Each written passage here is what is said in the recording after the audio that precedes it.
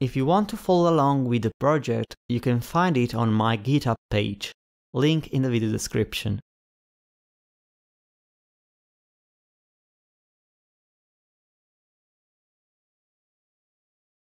First, create a new folder in the project tab, named Materials.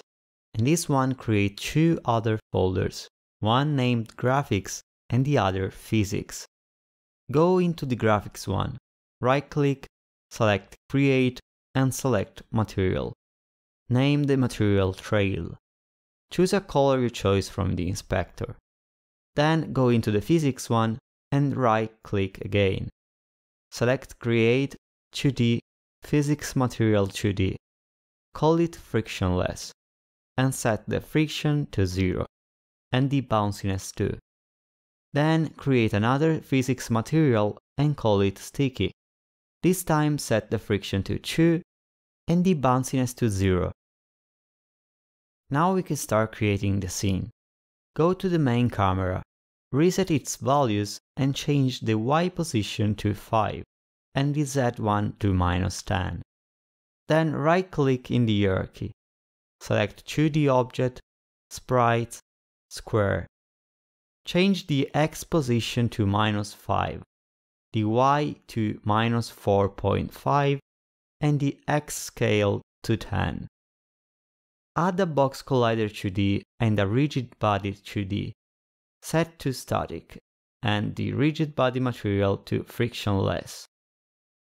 Duplicate the game object, set the X position to 5, and change the color.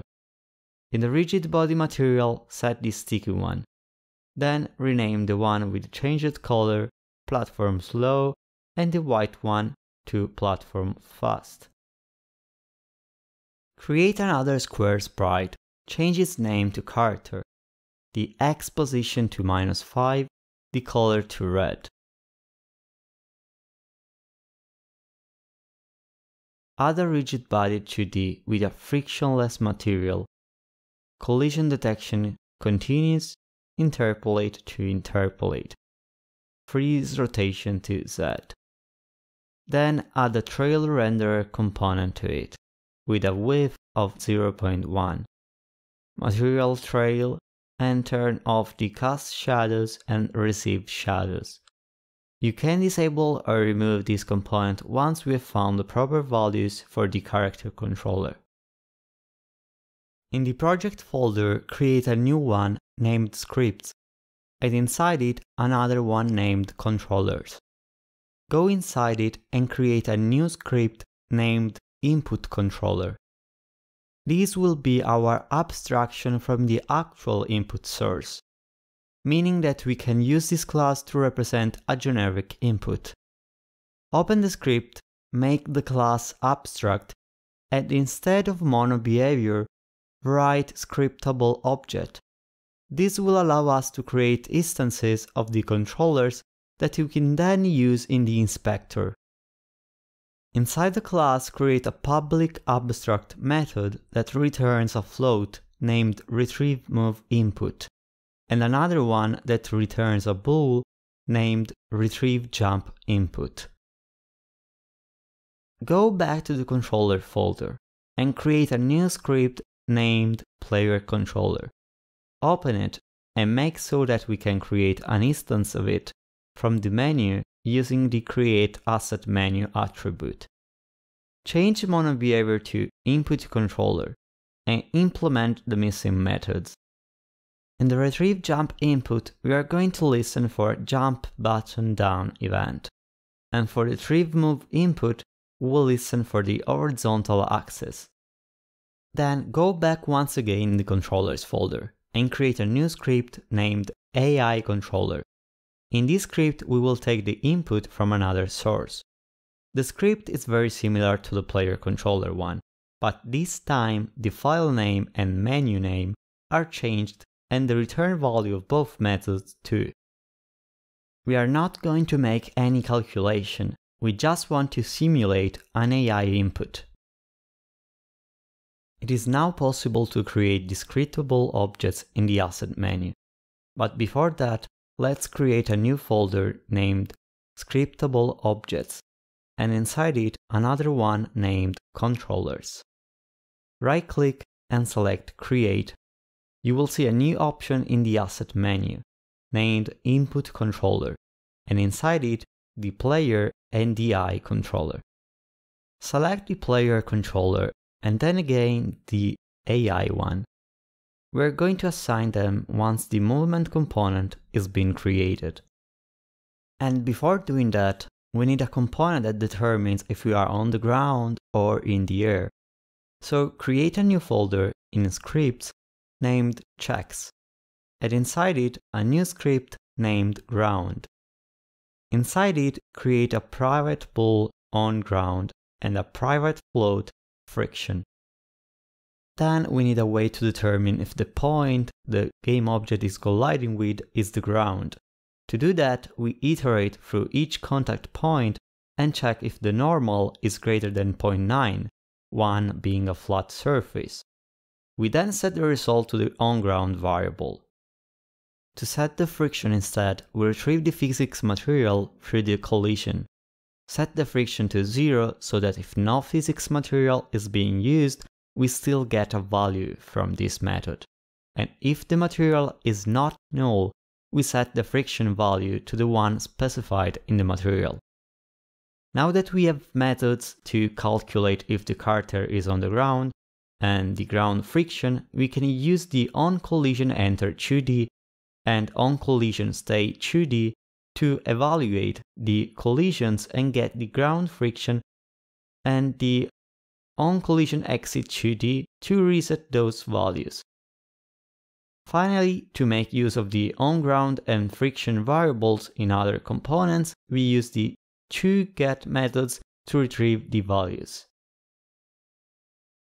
The last thing that we need are the actual components that will handle the movement of the character. Inside the scripts folder, create a new one named capabilities, and inside it a script named move. Open the script and start writing the following variables a private input controller named input. This will be our generic input. A private float named max speed with a serialized field and range attribute of 0 to 100 set to 4. Then one for the max acceleration set to 35 and max air acceleration set to 20.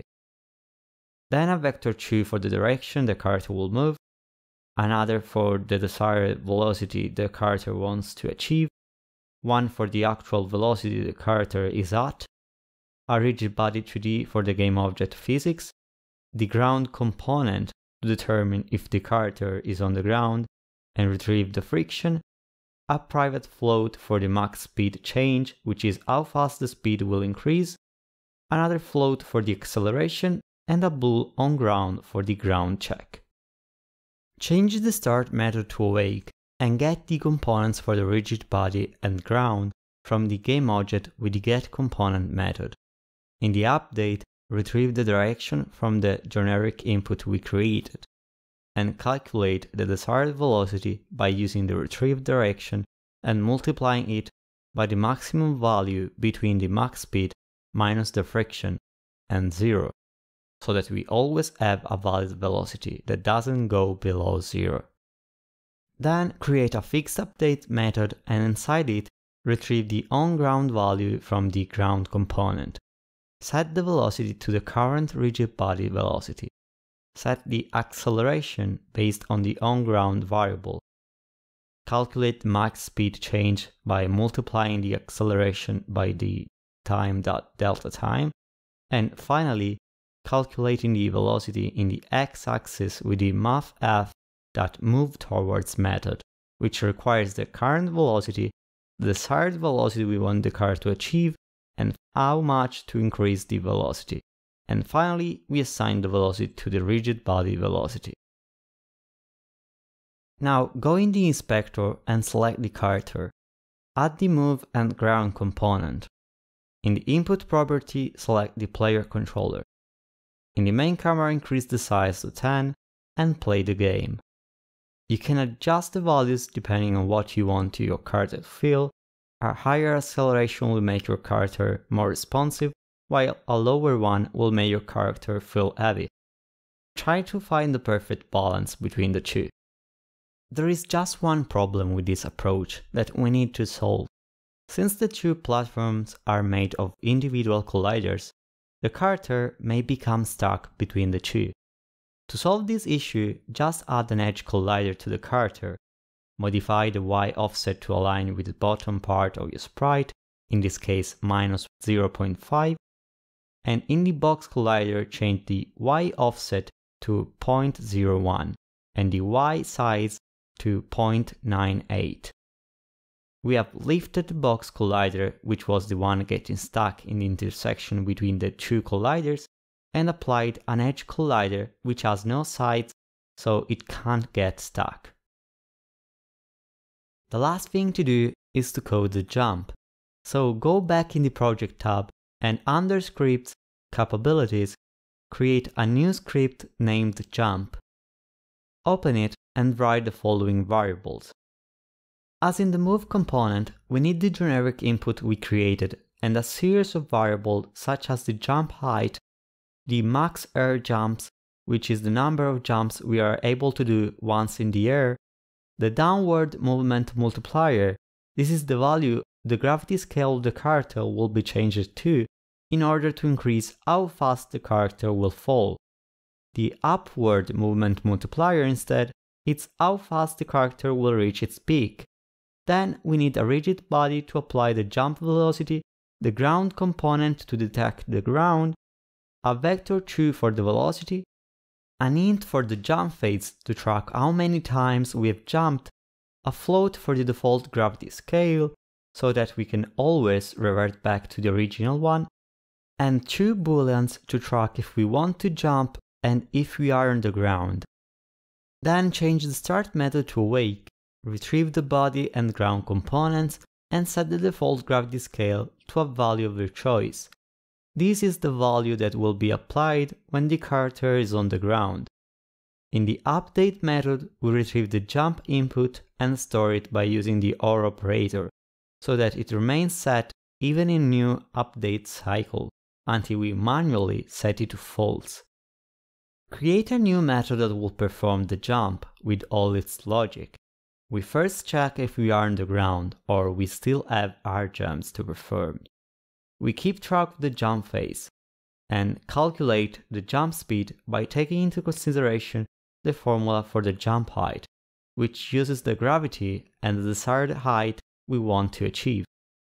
Then we check that the jump speed never goes negative because of the gravity and add it to the velocity. Now in the fixed update we retrieve the ground set the velocity to the current velocity of the rigid body. If the cart is on the ground, we reset the jump phase variable. Then we check if a jump is being requested. If so, we set the request back to false and trigger the jump. Now that we are in the air, we apply different gravity scales depending on the actual phase of the jump. If we are going up, we apply the upward movement multiplier. If we are going down, we apply the downward movement multiplier. And if we are on the ground, we revert back to the default gravity scale. And at the end of the calculations, we apply the velocity to the rigid body velocity. Back in Unity, remember to add the jump component to the character, add the player controller to the input, and play the game. Now by adjusting the max air acceleration, you can see that when in the air, you are able to control more or less the character, depending on how high or low the air acceleration is. You can easily increase the number of jumps by setting the max air jumps in the inspector, and control how fast or slow you go up or down with the upward and downward multipliers. You can also change the input controller while playing to make the character be controlled by the AI. One last thing that I want to mention is why we applied a physics material to the character, since we already have them for the platforms. And the answer is that if we add another platform while duplicating this low one and place it above it, if you remove the frictionless material from the character rigid body, when trying to jump on the platform, you'll get stuck in the side. Whereas with the frictionless material, the friction gets only applied to the movement in the x direction in the code.